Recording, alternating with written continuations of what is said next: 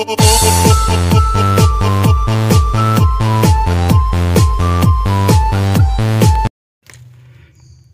दोस्तों, कैसे हो आप लोग? आज हम लोग बात करेंगे इलेक्ट्रॉनिक सेक्टर के स्टॉक को लेकर के। ये स्टॉक इलेक्ट्रॉनिक सेक्टर में कंपनी कामकाज करती है और N S C B S C में लिस्टेड है। दोस्तों फंडामेंटल स्टार्ट करने से पहले बता दें कि हमारे वीडियो के डिस्क्रिप्शन बॉक्स में लिंक दिया गया है। अप स्टॉक और एंजल वन का दोनों का लिंक दिया गया है तो वहाँ जाकर के आप अपना डीमेट अकाउंट बिल्कुल फ्री में ओपन कर सकते हैं। तो जाइए हमारे लिंक के थ्रू अपना डीमेट अकाउंट ओपन कीजिए। अप स्टॉक और एंजल वन दोनों का लिंक दिया गया है। ये कंपनी डिफेंस सेक्टर में भी काज काम काज करती है और अभी बिज़नेस के बारे में डिटेल से बातें किया जाएगा, बट उससे पहले हम लोग फंडामेंटल चेकआउट कर ले कंपनी की। तो एन एस सी में लिस्टेड है। अगर हम लोग मार्केट कैप की बात करें तो एक लाख। दो हज़ार पैंतालीस करोड़ का इनका मार्केट कैप मतलब क्या बोल सकते हो इसे? लार्ज कैप स्टॉक बोला जा सकता है। करंट प्राइस चल रहा है एक सौ चालीस रुपये का हाई लगा चुका है एक सौ सैंतालीस का लो है सतासी रुपये का। स्टॉक पी है तीस। तो स्टॉक पी के हिसाब से ये स्टॉक सस्ता है। और वो वैल्यू बीस रुपये की कंपनी डिविडेंड एल्ड प्रोवाइड करती है, एक दशमलव उनतीस परसेंट का तो ठीक ठाक कंपनी डिविडेंड एल्ड प्रोवाइड करती है। आर ओ सी है, उनतीस परसेंट आर ओ ई है, बाईस परसेंट दोनों ही लाजवाब है। R O C R O face value एक रुपये की है। प्रमोटर के पास इक्यावन परसेंट की होल्डिंग अच्छा होल्डिंग है। डेप्ट इक्विटी से बिल्कुल ज़ीरो है, यानी कंपनी के पास कर्ज नहीं के बराबर है, नहीं है। और एनुअली प्रॉफिट हो रहा है दो हज़ार नौ सौ छियासी करोड़ का। डेप्ट है इकसठ करोड़ का रिटर्न ऑन इक्विटी बाईस परसेंट इंडस्ट्री पी है बहत्तर और ई पी एस है चार रुपये पचपन पैसे की फ्री कैश फ्लो छः सौ अठहत्तर करोड़ है कंपनी का अगर हम लोग प्लस परसेंटेज की बात करें, बिल्कुल ज़ीरो है। तो प्लस परसेंटेज ज़ीरो का मतलब समझ रहे हो ना क्या होता है? कि प्रमोटर की तरफ़ से एक भी परसेंट की होल्डिंग गिर भी नहीं रखा गया है। अगर हम लोग बात करें प्रॉस की तो उससे पहले बता दें कि दोस्तों, ये वीडियो सिर्फ़ एजुकेशनल पर्पज से बनाया जा रहा है, ना कि बाई और सेल करने के लिए। अगर आप बाई और सेल करते हैं तो आप अपने रिक्स पर बाई और सेल करके चल सकते हैं, या फिर अपने फाइनेंशियल एडवाइजर की सलाह लेकर के बाई और सेल कर सकते हैं प्रोस के अंदर देखें कंपनी ऑलमोस्ट डेट फ्री है कंपनी आपको पैंतालीस परसेंट तक का हेल्थी डिविडेंड पे आउट कर रही है। ये लाजवाब है। प्लस पॉइंट रहता है हमारे लिए, जो इन्वेस्टर हैं। अगर हम लोग क्वार्टरली रिजल्ट्स की बात करें तो देख सकते हैं सितंबर वाले क्वार्टर में कंपनी के पास एक हज़ार करोड़ का ऑपरेटिंग प्रॉफिट आया है। जून में छः सौ तिरसठ आया था, और पिछले सितंबर की अगर हम लोग बात करें, ये रहा, ये पिछले सितंबर का। तो देख सकते हैं आठ सौ अड़सठ करोड़ का प्रॉफिट आया हुआ था। जून में पाँच सौ बाईस करोड़ का आया है। तो कहीं ना कहीं बेहतरीन परफॉर्मेंस करके चल रही कंपनी ऑपरेटिंग प्रॉफिट को लेकर के। बट नेट प्रॉफिट में भी प्रॉफिट आ रहा है या नहीं एक्चुअल में, देखते हैं। सात सौ नब्बे करोड़ का सितंबर वाले क्वार्टर में प्रॉफिट शो कर रहा है। और पिछले साल सितंबर में छः सौ चौबीस था। और जून में पाँच सौ उनचालीस, पिछले साल तीन सौ छाछठ करोड़ का इनके पास प्रॉफिट आ रहा था नेट प्रॉफिट तो कहीं ना कहीं कंपनी परफॉर्मेंस लाजवाब करके चल रही है अच्छा खासा प्रॉफिट ला रही है। Profit and losses yearly base पे अगर हम चेकआउट करें तो टी में हम देख सकते हैं, चार हज़ार तीन सौ बयासी करोड़ का इनके पास प्रॉफिट शो करा है डी में। दो हज़ार तेईस में चार हज़ार नब्बे करोड़ का था, दो हज़ार बाईस में तीन हज़ार तीन सौ चौवालीस, दो हज़ार इक्कीस में तीन हज़ार दो सौ चौदह, दो हज़ार बीस में सत्ताईस सौ उनसठ। तो कंपनी हर साल ना बेहतरीन परफॉर्मेंस करके चल रही है। हर साल एक नया प्रॉफिट ला रही है। ग्रोथ करती हुई हमें दिखला रही है अपनी प्रॉफिट्स नेट प्रॉफिट की अगर हम लोग बात कर लें तो तीन हज़ार तीन सौ चौबीस करोड़ का नेट प्रॉफिट शो कर रहा है टी डी में। दो हज़ार तेईस में, दो हज़ार नौ सौ छियासी करोड़ का, दो हज़ार बाईस में, दो हज़ार चार सौ करोड़ का, दो हज़ार इक्कीस में, इक्कीस सौ करोड़ का। तो कंपनी का प्रॉफिट ना जब सालाना इंक्रीज हो रहे हैं ज़ाहिर सी बात है कंपनी हर साल बेहतरीन परफॉर्मेंस करके चल रही है इंक्रीजमेंट अच्छा ला रही है और कंपनी को क्वार्टर वाइज भी बहुत ही बेहतरीन परफॉर्मेंस है। तो मेन मुद्दा होता है ना कंपनी के आ, सेल्स के ऊपर। कंपनी की सेल्स अच्छी आनी चाहिए चाहे जो भी कोई कंपनी कुछ भी कंपनी हो। अगर कंपनी सेल्स ला रही है लॉन्ग टर्म में देख सकते हो उनका क्या वो है फ्यूचर है। मतलब वो कंपनी जो काम काज कर रही है ना प्रॉफिट तो अभी ठीक ला रही है कि आगे फ्यूचर में भी सिर्फ़ प्रॉफिट ला सकती है। तो हम अगर अगर आप लॉन्ग टर्म के लिए इन्वेस्टमेंट कर रहे हैं तो ये सारी चीज़ों को ध्यान में रखना चाहिए। तो अगर हम लोग बात करें कंपाउंड सेल्स ग्रोथ की तो देखो छः देखो, हम लोग बारह महीने के अंदर का ही देखा जाएगा, और दस साल, पाँच साल का नहीं, ठीक है? तो टी टी डी एम में देखें छः परसेंट है। Compound profit growth T D M में इक्कीस percent stock price C G R तीस परसेंट रिटर्न ऑन इक्विटी तेईस परसेंट सारी चीज़ें बहुत ही बेहतरीन हैं। यहाँ तक compound profit growth stock price ये जी रिटर्न ऑन इक्विटी और कंपाउंड सेल्स ग्रोथ छः परसेंट ही प्लस दिखला रहा है। थोड़ा सा ओवर होना चाहिए था ऊपर होना चाहिए था। लेकिन फिर भी कोई बात नहीं है। आ, जो आया क्वार्टरली नतीजे वो अच्छा आया है बेहतरीन आया हुआ है। अगर बैलेंस शीट अगर हम लोग चेकआउट कर लें तो रिज़र्व देख सकते हैं चौदह हज़ार करोड़ का है। और इनका रिज़र्व ना हर साल इंक्रीज होता हुआ दिख जाएगा आपको। देख सकते हो आप। आपका ये डाटा डाटा आपके पास है। वहीं प्रॉबिंग की बात करें तो इकसठ करोड़ का कर्ज है कंपनी के पास। ये कर्ज 2023 मार्च वाले क्वार्टर में भी था। और पहले तिरपन करोड़ का था। 2022 में 2023 मार्च में इंक्रीज हुआ इकसठ हुआ। तब से सेम बना हुआ है। लेकिन कैश फ्लो क्या है कंपनी के पास? ये चेकआउट कर ले तो बारह सौ सड़सठ करोड़ का इनके पास कैश फ्लो है। तो इस हिसाब से तो कंपनी बिल्कुल ऑलमोस्ट डेट फ्री बोल सकते हैं। लेकिन जो भी कर्ज है ना वो कम से कम ख़त्म हो जाए तो वो बहुत ही बेटर है। Net profit net cash flow छब्बीस सौ पैंतालीस करोड़ का है। और शेयर होल्डिंग पैटर्न की अगर हम लोग बात करें, सितंबर में देख सकते हैं इक्यावन करोड़ का इक्यावन परसेंट का प्रमोटर के पास होल्डिंग है। सत्तर परसेंट के पास एफ़ के पास है, चौबीस परसेंट की होल्डिंग डी के पास है, सात परसेंट की होल्डिंग मात्र पब्लिक के पास है। तो डेफिनेटली ऐसे स्टॉक अपनी नज़रों में बना करके अपने नज़रों में बना करके रखना बहुत ही बेहतरीन हो सकता है, लेकिन स्टॉक सही जगह पर ट्रेड करती हुई मिले तब। इन चीज़ों के लिए हमें चार्ट पैटर्न तक जाना होगा। लेकिन, देखते हैं। पब्लिक के अंदर तो इंडिविजुअल्स की होल्डिंग होना बहुत कम ही चांस है होना। तो ये स्टॉक पीएसयू सेक्टर का स्टॉक प्रेसिडेंट ऑफ़ इंडिया ठीक है, की होल्डिंग ऐसी स्टॉक के अंदर। डेफिनेटली ऐसे स्टॉक अपने नज़रों में रख के रखा जा सकता है। और इस स्टॉक का नाम है भारत इलेक्ट्रॉनिक्स लिमिटेड। स्टॉक के बारे में बात करने से पहले बता दें कि वीडियो के डिस्क्रिप्शन बॉक्स में लिंक दिया गया है दोस्तों। अगर आपके पास दो डीमेट एक डीमेट अकाउंट है तो एक और ओपन कर सकते हो। जैसे क्या होता ना कभी कभी हम बाय करते हैं लॉन्ग टर्म के लिए।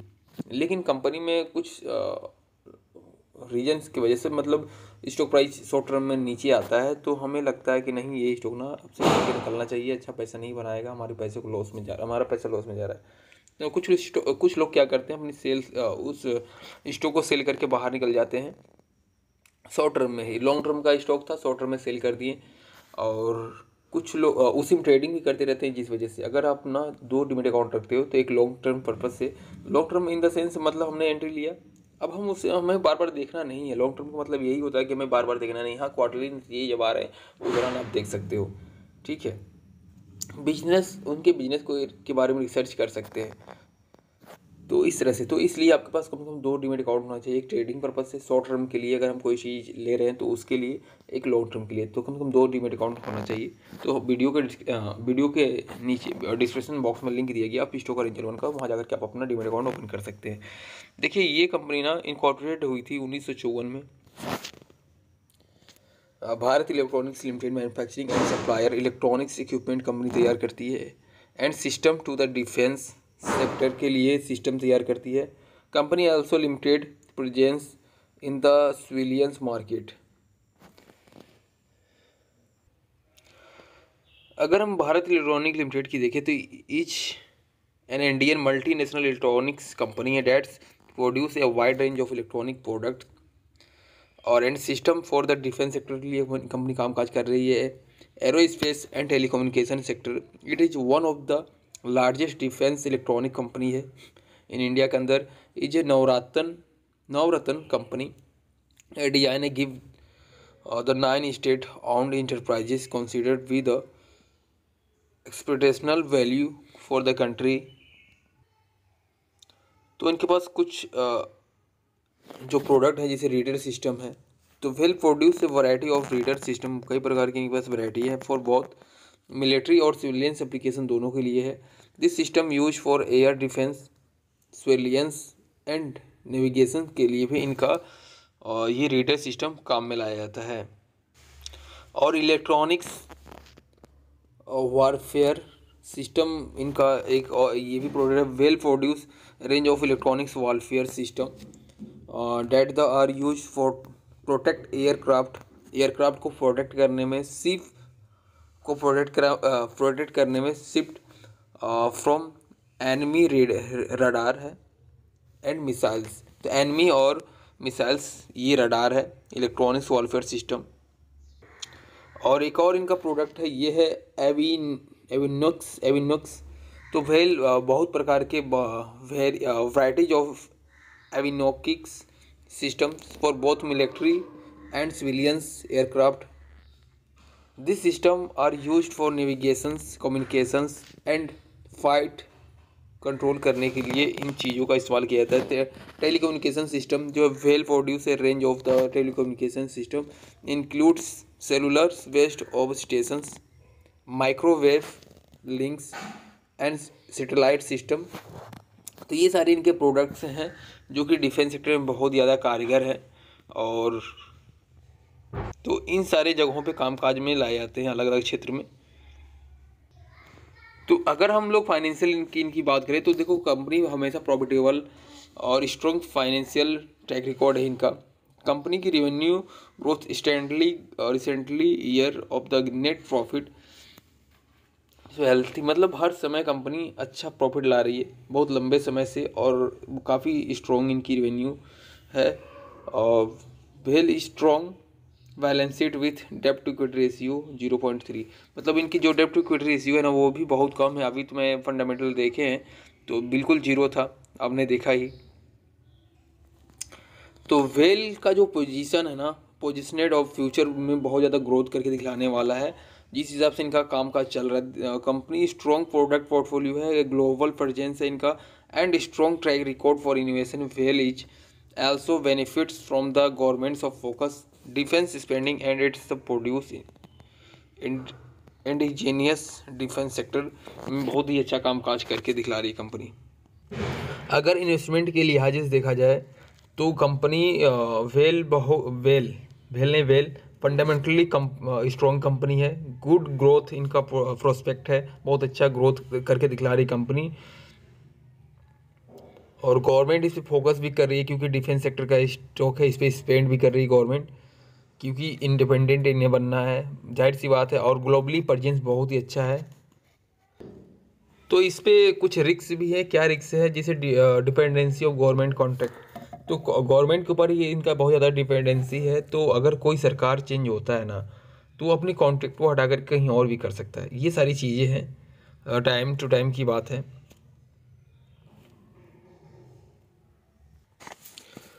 तो अगर हम लोग वेल की बात करें तो देखो कंपनी फंडामेंटली काफ़ी स्ट्रॉन्ग कंपनी है, सारी चीज़ें आपको क्लियर हो ही गई होंगी। बिज़नेस इनका बहुत लाजवाब है।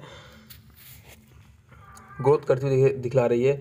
और ग्लोबली भी इनका परचेंस बहुत ही बेहतर है। और वैसे अगर हम लोग देखें तो कंपनी अभी ना ऑल टाइम हाई के पास है। अगर टेक्निकल देखा जाए तो कंपनी ऑल टाइम हाई के पास है। दो हज़ार इक्कीस में कहीं ये स्टॉक अठारह रुपये के प्राइस मिला करता था दो हज़ार बीस में। लेकिन वही हम लोग दो हज़ार इक्कीस की बात करें, सितंबर का, सैंतीस रुपये के प्राइस में ये स्टॉक था। और सैंतीस रुपये के प्राइस से ये स्टॉक एक सौ अड़तीस रुपये के लेवल को टच किया है। अगर आप दो हज़ार बीस से नहीं तो दो हज़ार इक्कीस में अपने नज़रों में आकर के रखा होता। तो आज आपके पास क्या रिटर्न होते हैं, वो आपके सामने है। दो सौ चौरासी परसेंट रिटर्न कंपनी ने बना करके दी है, बहुत ही आराम से। तो दो सौ चौरासी परसेंट रिटर्न बनाई है। तो ज़ाहिर सी बात है, बहुत अच्छा रिटर्न लोगों को बना करके दी है। तो क्या इतना ऊपर के लेवल्स पे हमें एंट्री एंट्री करना सही है? स्टॉक पी के हिसाब से स्टॉक थोड़ा सा महँगा है, बहुत ज़्यादा महँगा नहीं बोल सकते। सस्ता नहीं है, चौबीस परसेंट की गिरावट होती है इस स्टॉक के अंदर, और भी गिरावटें हुई हैं। तो वो कोरोना काल की थी तो कुछ ज़्यादा ही गिरावट हो गई है। तो डेफिनेटली स्टॉक अपने नज़रों में बना करके बना करके रखा जा सकता है बट करंट टाइम पे एंट्री लेना थोड़ा सा रिस्की होगा, क्योंकि स्टॉक ना ऑल टाइम हाई के पास है। तो हम वेट कर सकते हैं। देखो, पैसा कमाना है तो थोड़ा सा आपको टाइम निकालना होगा टाइम देना होगा स्टॉक मार्केट को। तो अपने वॉच लिस्ट में ऐड करके रखिए। देखो फंडामेंटली स्ट्रॉन्ग कंपनी है। तो अपने वॉच लिस्ट में ऐड करके रख सकते हैं। स्टॉक जब भी तीस चालीस परसेंट के डिस्काउंट मिले डेफिनेटली अच्छा हो सकता है वो टाइम या फिर उसी अपॉर्चुनिटी के समान हम देख सकते हैं इस स्टॉक को। लेकिन दोस्तों, ये वीडियो सिर्फ़ एजुकेशनल पर्पज़ से बनाया जा रहा है। तो इस स्टॉक को आप अपने नज़रों में स्टडी पर्पज़ से स्टडी कर सकते हो। स्टडी पर्पज़ अपने नज़रों में बना बना करके रख सकते हो। बाई और सेल करने का कोई यहाँ सलाह नहीं दिया जा रहा है, क्योंकि हम सेवी रजिस्ट्रेड है नहीं। हमारा कहा कुछ भी गलत हो सकता है, कभी भी गलत हो सकता है, ठीक है? कुछ भी हो सकता है। तो इसलिए आपको ध्यान में रखना है कि ये वीडियो सिर्फ़ एजुकेशनल पर्पज से बनाया जा रहा है, ना कि बाई और सेल करने के लिए। अगर आप बाई और सेल करते हैं तो आप अपने रिक्स पर बाई और सेल करके चल सकते हैं या फिर अपने फाइनेंशियल एडवाइजर की सलाह लेकर बाई और सेल